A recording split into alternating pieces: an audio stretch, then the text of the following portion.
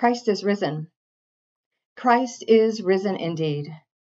Welcome to worship on the second Sunday of Easter. We are a resurrection people. That is uniquely our identity in Christ. We follow a risen Christ who has conquered the grave, sin, death, and evil, does not have the last word. This Christ is alive and at work in the world. But you may be saying, Really? But really? Millions of people in the Ukraine, now refugees, a country being destroyed. I don't know about you, but that looks and feels like death to me. The countless names of people who have died through senseless gun violence in the US. A pandemic that cannot seem to release its grip on the world. Thousands, hundreds of thousands of people who have died because of it. Isn't that death? The seemingly intractable issues of homelessness and poverty and racism and climate change, just to name a few. How does resurrection speak into those?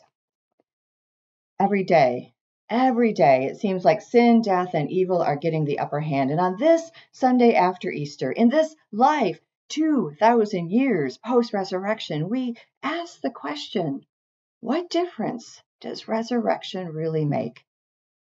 What does it mean to be a people who anchor ourselves in the proclamation that even though we were dead in our sinfulness, but God, but God who is rich in mercy, who is not yet done, has saved us and made us alive with Christ.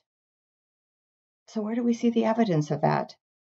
And how can we be a people who practice resurrection?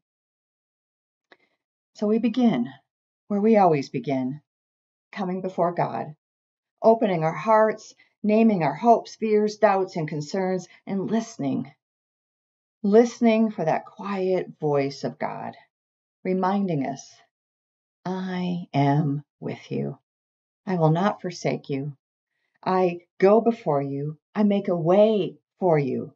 I am the resurrection, and I am life. Let us pray. Oh God, we are weary and we are overwhelmed. We are constantly being bombarded with bad news. The need in the world is immense, and we don't know what to do other than give a little money, pray. We try to get involved. We try to work in our corner of the world to make things better, to right some wrongs, to care, but it is exhausting, God. And it's hard not to lose hope, to not let our hearts get hardened, to not get as angry, bitter, and cynical as the news feeds that keep coming into our world every day.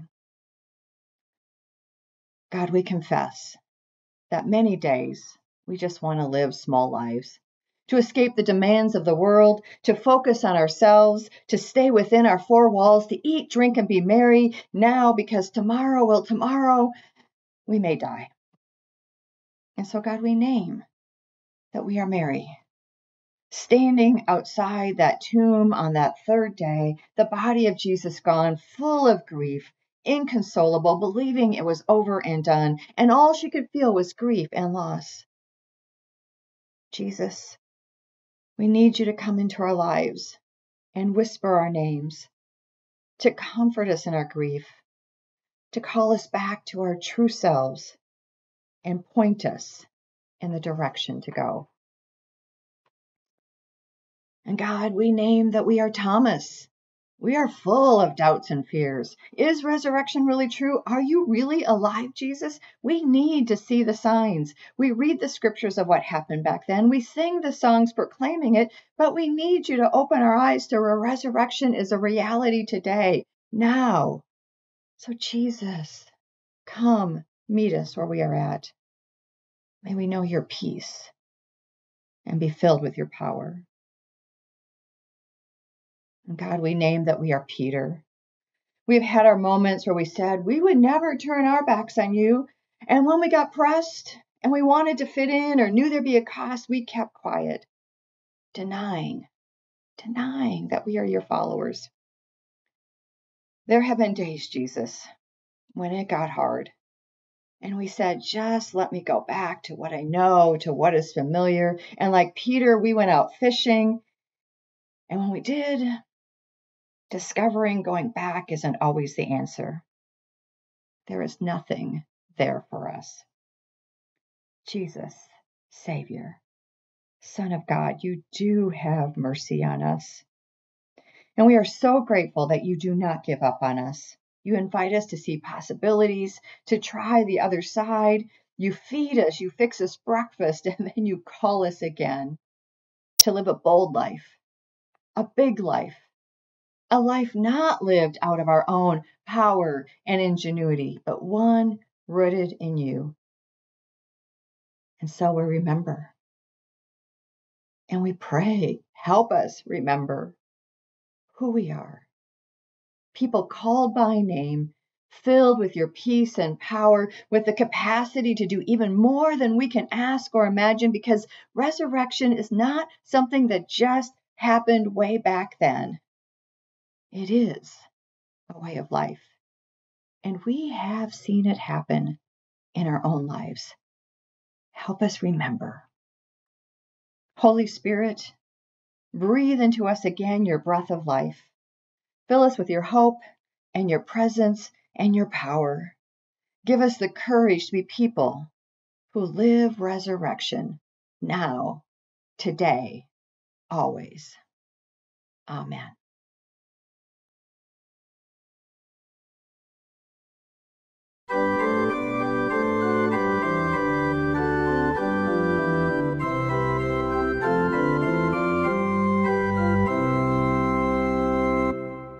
Christ the Lord. is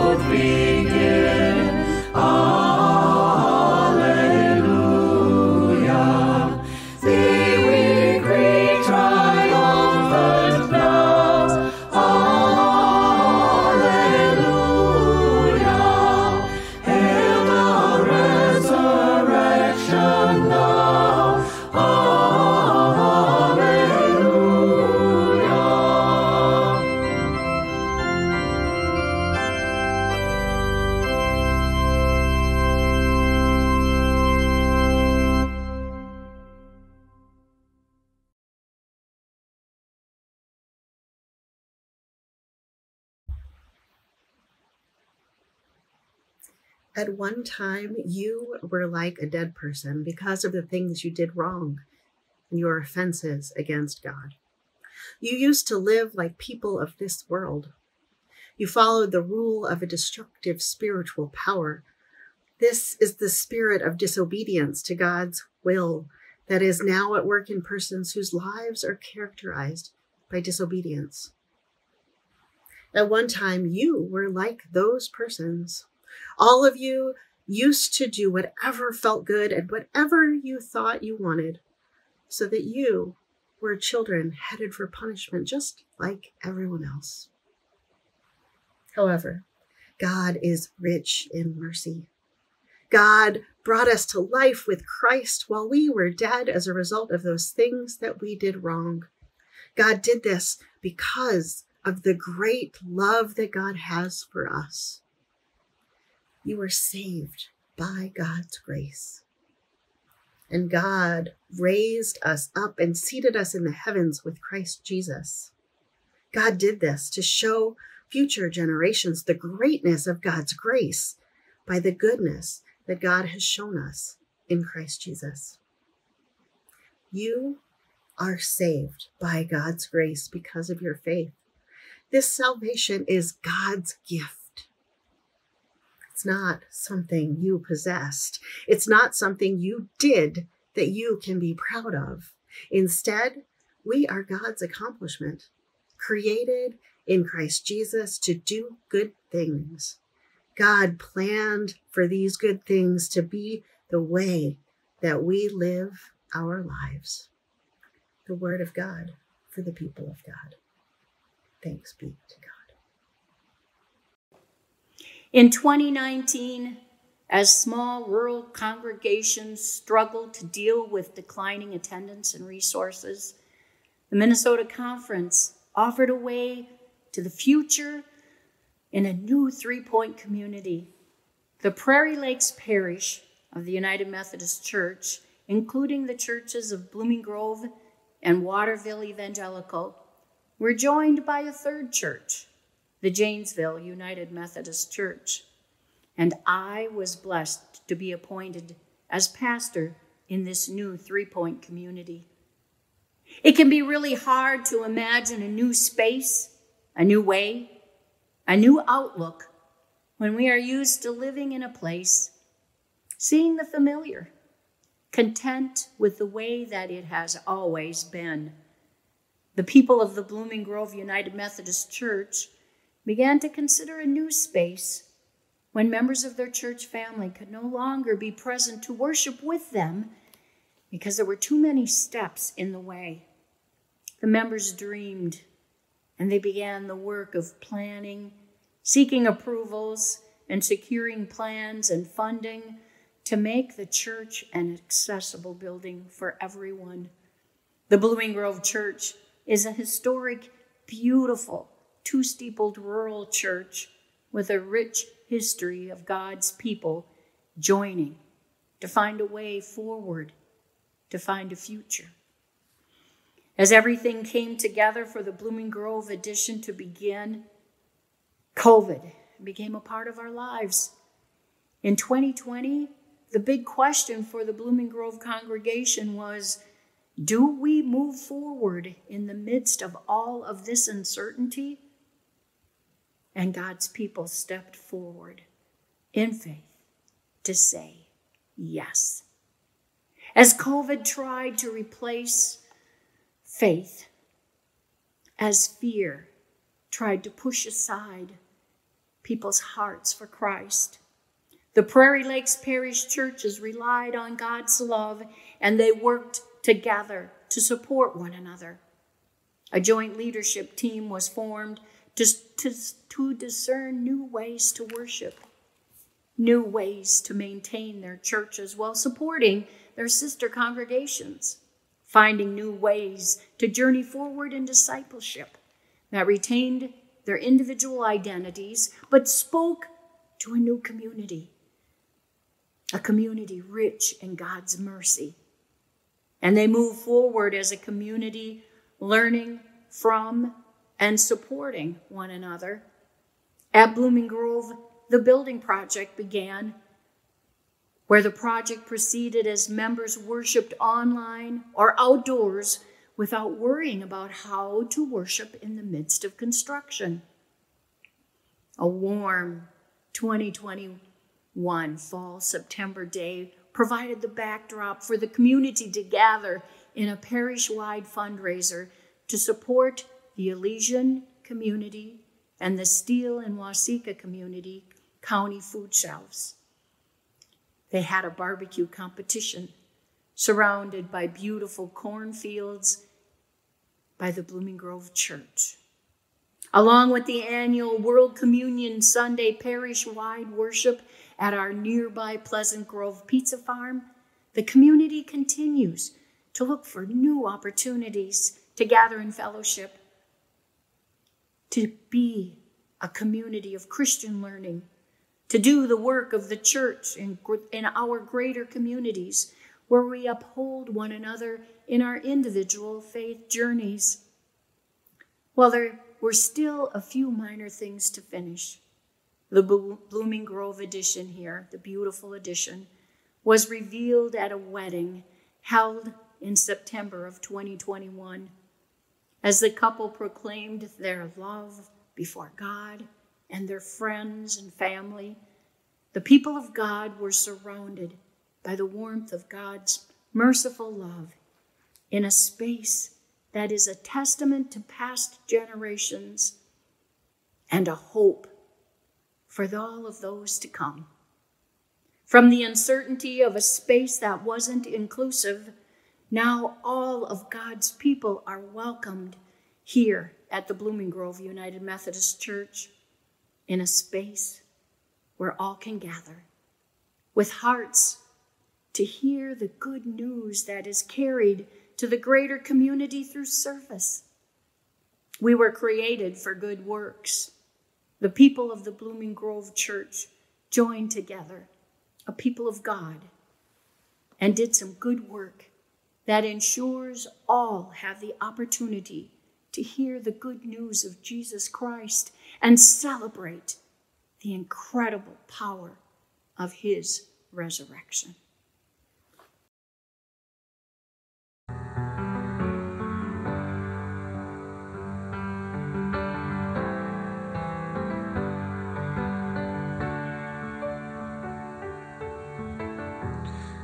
Throughout my history. Your faithfulness has walked beside me. The winter storm made way for spring. In every season, from where I'm standing, I see the evidence of your goodness all over my life, all over my life. Yeah, I see your promises in fulfillment all over my life, all over my life. Help me remember when I'm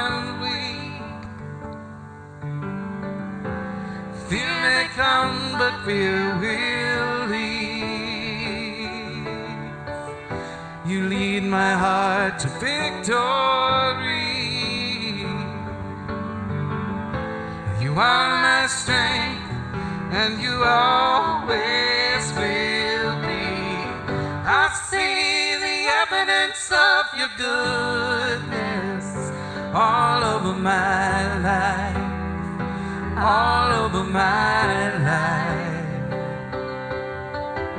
I see your promises in fulfillment all over my life, all over my life. Yeah.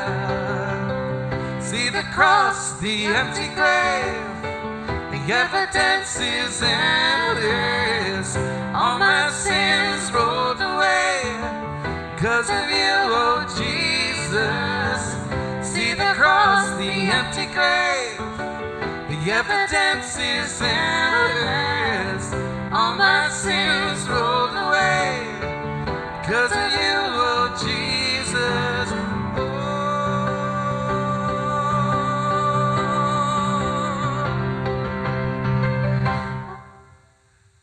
I see of your goodness all over my life, all over my life.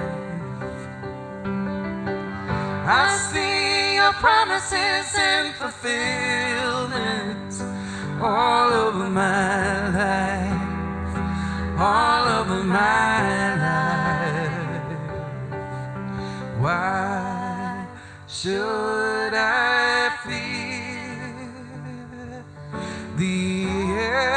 Evidence is here. Why should I fear? Oh, the evidence is here.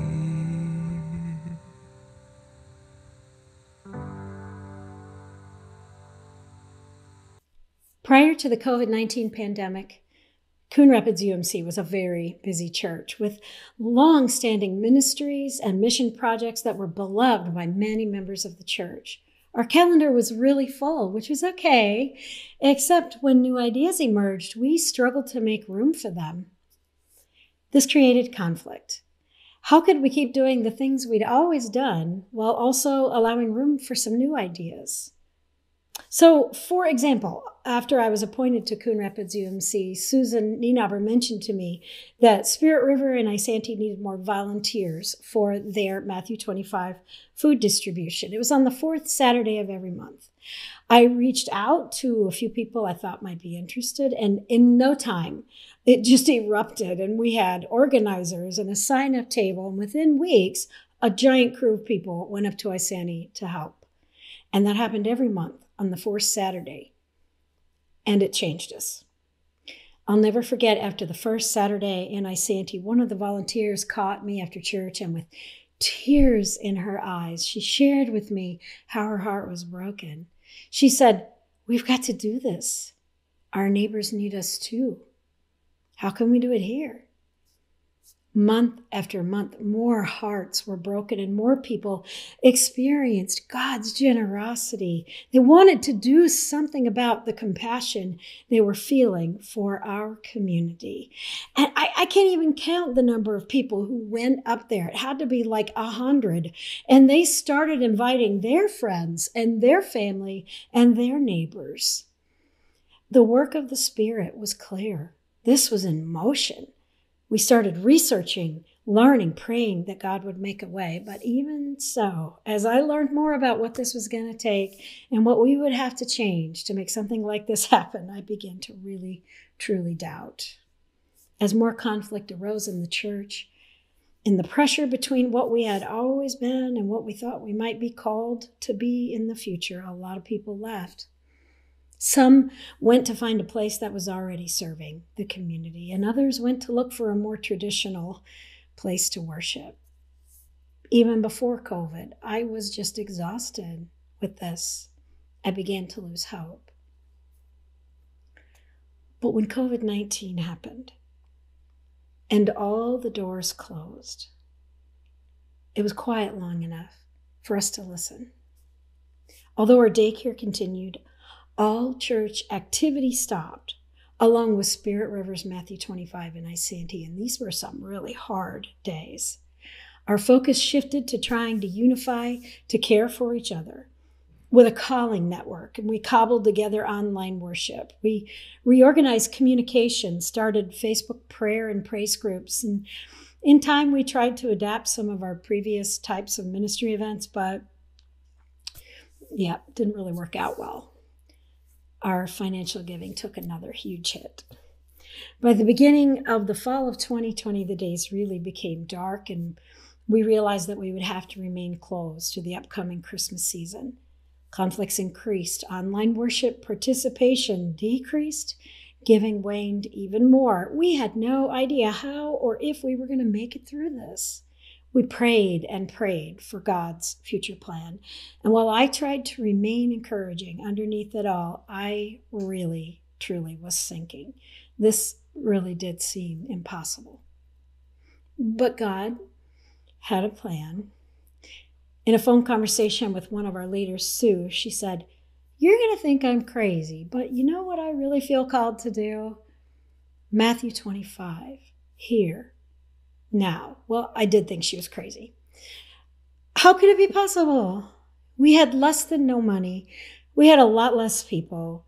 And it wasn't even safe to meet inside buildings for any length of time. But the call of the Holy Spirit in Sue was so strong and so clear, I got absorbed. I became more hopeful. We talked and we researched and we prayed for a co leader, and God brought Wendy to the team. From there, Sue and Wendy and their spouses began digging, researching, connecting, learning, seeking, and finding. And the team of interested people grew around them. Although it was completely unbelievable, within a few months, with all free food resources lined up, we scheduled our first Matthew 25 drive through food distribution, and it happened with inexplicable joy on January 10th, 2021. There were more than enough volunteers, but cars lined up around the block, and our hearts broke again. We needed the hope, but it was very clear that our community needed the help. Since that day, we have held 16 Matthew 25s. If you're counting last July, there were two. On average, we serve 450 households a month. One month, we gave away 18,000 pounds of food. We've drawn in long timers and welcome newcomers all the time. For the Sunday event and all the many events that we do to get ready for it in the week, the building is full. We have made partners and developed relationships with the, all things throughout the community organizations, businesses, nonprofits, and even individuals who continue to donate. God's generosity continues to grow. It has expanded into partnerships with four nearby schools as we developed a dignity pantry to help kids who are experiencing homelessness. And right now, the raised beds for the community garden are being built. We've cleaned the church up and out to make room for all that God is doing now and what we hope God will do next. And we've welcomed a Liberian congregation into our bu- building as co workers of the kingdom, House of Christ Assembly. The joy is just exploding. In fact, I'm recording this from home today because the church was going to be way too noisy with everything going on. It all seemed so dark and hopeless, even. But the seeds that God planted germinated. And they germinated up from the ground at the most unlikely time from the people of the church who just could not let go of the hope that God had put inside them. So, although we're dealing with the conflict still, because change is really hard, really hard, God continues to bring resurrection, new life in what may be a new expression of life for this church. And we are beyond grateful.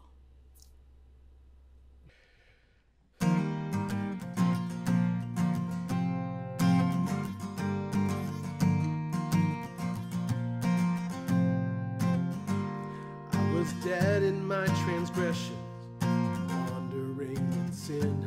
I was searching for redemption down a road that had no end. I was walking through the fire. I was living on the run with my flesh lost in desire. I was drowning in the flood. But God, rich in mercy,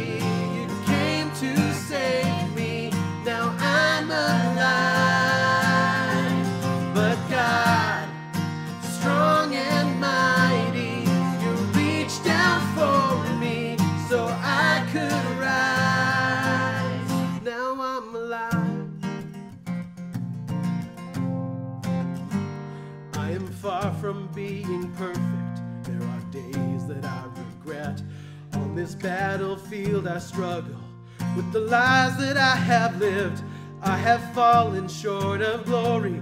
I can't make it on my own. If you kept a record of my past, I'd be sinking like a stone. But God, rich in mercy,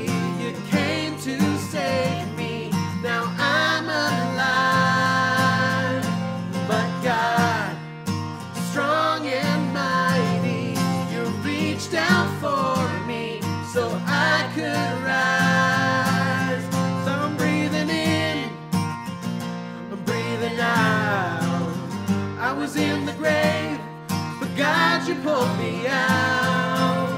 I'm breathing in, I'm breathing out. I was in the grave, but God, you called me out. But God, rich in mercy, you came to save me. Now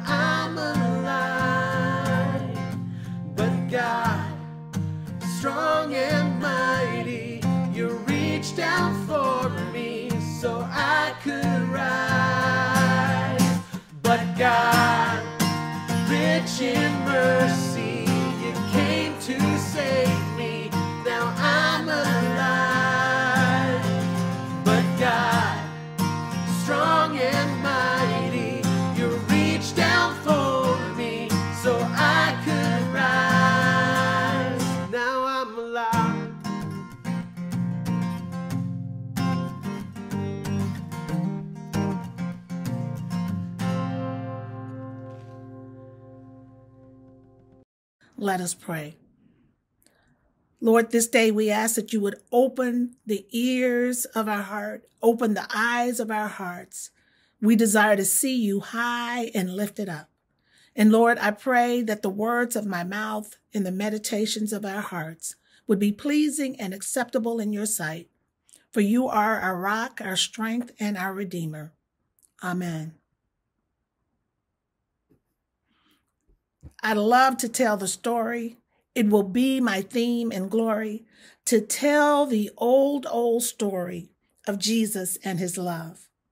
Last week through Holy Week, from Palm Sunday to Maundy Thursday, Good Friday, and Resurrection Day, people throughout the world recalled, remembered, and I pray some for the very first time heard the ancient story that is the core to our Christian faith congregations told the old, old story of Jesus and his love.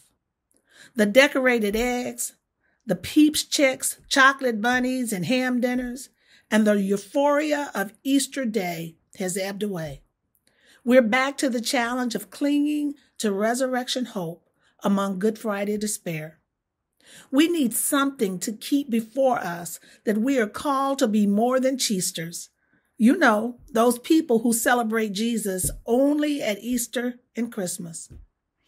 We need that which will keep us grounded in the truth that the tomb was empty and we are children of the third day, people who have new life in Christ. We need conversation and prayer partners, small groups, personal and family devotional time. We need space and places to recall day by day to remember and rehearse the old, old story. We need corporate worship where our prayers and hymns, songs of praise, and the preached word call us back to God, to self, and others. We need communion to remind us that just as Jesus was claimed, blessed, broken, and sent, we have been given life to be broken bread and poured out wine in service beyond ourselves. We need help to deep down on the inside remember the old, old story in ways front and center that intersect with our lives. What helps you keep this story fresh in a way that daily makes a difference in your life? Eugene Peterson, in his intro to Ephesians in the Message Bible, writes, What we know about God and what we do for God have a way of getting broken apart in our lives. He goes on to say, the moment the organic unity of belief and behavior is damaged, we are incapable of living out the full humanity for which we were created. This letter to the church at Ephesus is a deep dive into what Christians believe about God and a setting of this belief in God into our behavior before God so that the fractured bones, belief and behavior can knit together and heal. In Ephesians, there are six chapters, three focus on belief and three on behavior. The letter is held together by this core truth of our faith. But because of God's great love for us, God, who is rich in mercy, made us alive with Christ even when we were dead in transgressions. It is by grace you've been saved. And this is the game changer. We who in no ways deserved it, by God's grace, have been snatched from death and made alive with Christ. Do you believe this? And have you embraced this truth? I am convinced that the story we tell is the story we live. As superintendent, it has been fascinating to hear the narratives a congregation tells about themselves and how it shapes how they see their present and future. I've seen congregations name their decline and the reality of dying and being at the brink of closure and rehearse that story over and over again. And I've seen some of these churches through prayer and guidance gain clarity on their mission and purpose and come alive and begin, begin to tell and live a different story. Their new story, their renewed energy and their vibrancy blesses my soul. The story we tell is the story we live. These past two years, the pandemics, COVID, the political and racial reckoning have traumatized and left us shaken. It has been painful on so many levels.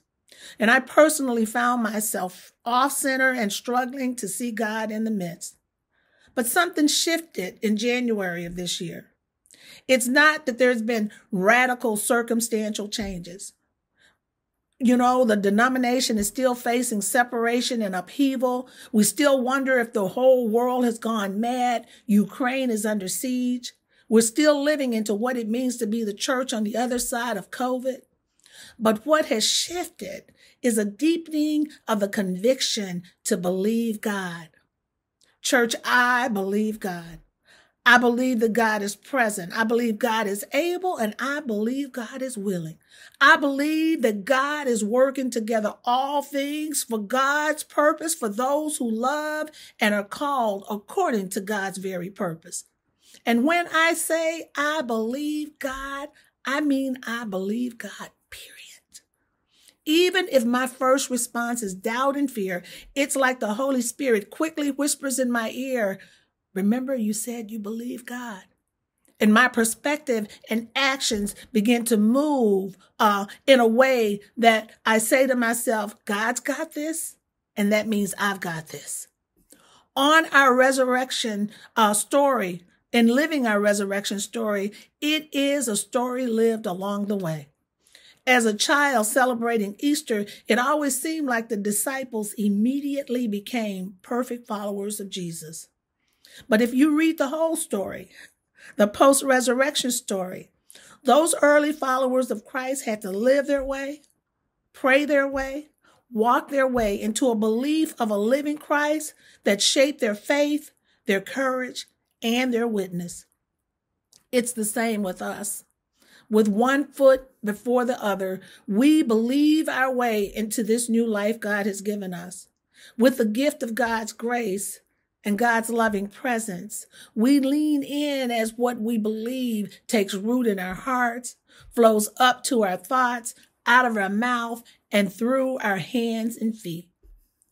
Scripture, tradition, reason, and experience tells us we have been made alive. But sometimes, sometimes if we tell the truth, we may not feel alive. And, and if we really tell the truth, we may not look alive. But no matter how we feel, or what the exterior, we have been made alive inside out. We are God's masterpieces, intricately designed with love, intention, and purpose. Each of us, we are jars of clay, and some days we may behave or feel like a crackpot. But we are God's beautiful cracked pots, filled with treasure and light that shines through. We have been created to be the praise of God's glory in the many places we've been planted. We have been made alive. We've been created and called and purposed to be a people of healing through our commitment to make disciples of Jesus Christ for the transformation of the world. God has breathed in us to be a church that seeks, sees, and walks with those on the road to recovery for courage to pick up their mats and walk.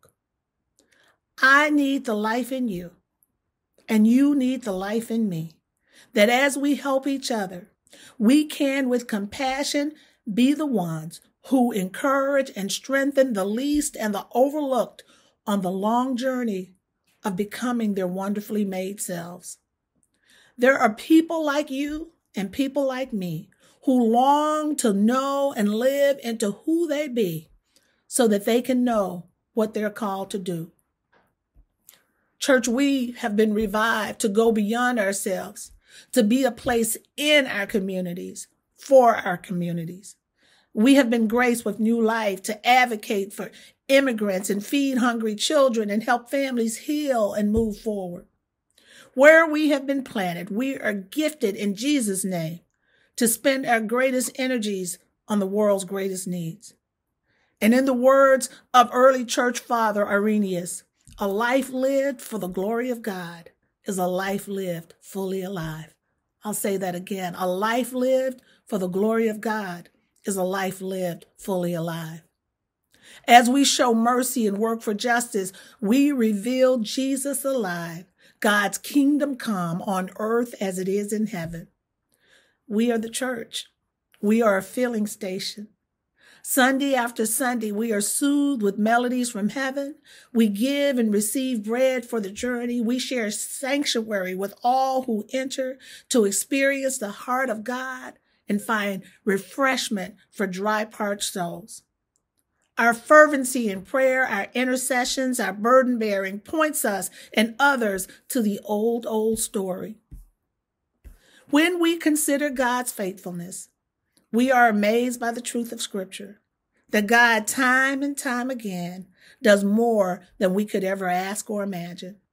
When we consider our story and God's presence all up in it, from where we have come to where God has brought us to, from across the street, around the corner, from addiction to recovery, from fractured relationships to reconciliation, from sadness to joy, from darkness to the marvelous light, we must tell the story. Church people are dying to live and hear the story. I love to tell the story. It will be my theme and glory to tell the old, old story of Jesus and his love. We have been made alive to tell and live the story. Amen. Let us pray. And so, God, this day, meet us, God. Meet us, God, at our very point of need. Whisper in our ear, God. Whisper life into our ear. And Lord, may each of us, God, consider our story. Consider our story and all of the ways that it calls us to life. And Lord, in those places where it does not, Lord, give us the courage to choose a different story. And so, God, we thank you. Bless us this day. In Jesus' name, amen.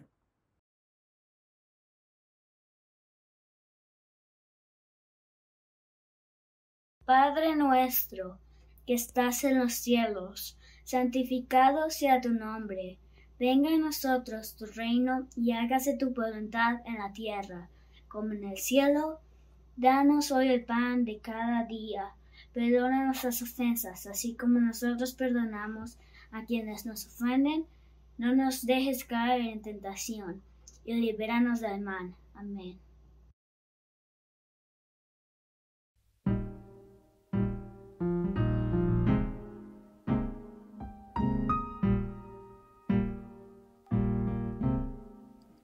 There's a quiet place that gives me peace when I'm alone with you.